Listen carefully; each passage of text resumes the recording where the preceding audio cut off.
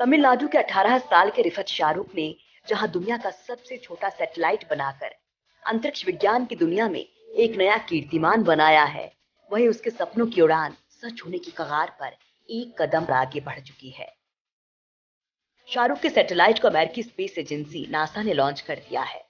शाहरुख और उसकी पूरी टीम ने इस काम के लिए कड़ी मेहनत की थी।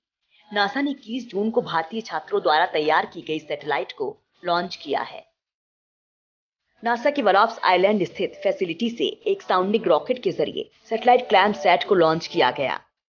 भारत के मिसाइल मैन एवं पूर्व राष्ट्रपति डॉक्टर एपीजे अब्दुल कलाम के नाम पर इस उपग्रह का नाम रखा गया है। इस लॉन्च के बाद न सिर्फ़ शाहरुख और उसकी टीम ने इतिहास रचा, बल्कि भारत के लिए भी ये गर्व का मौका है। सैटेलाइट लॉन्च को लेकर शाहरुख ने कहा, लॉन्च मिशन का पूरा समय लगभग 240 मिनट रहा।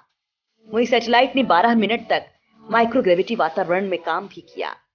तमिलनाडु के एक छोटे से शहर, पल्लापट्टी में रहने वाले रिफत शाहरुख ने चौसठ ग्राम का सबसे छोटा सैटेलाइट बनाकर इतिहास रच दिया है।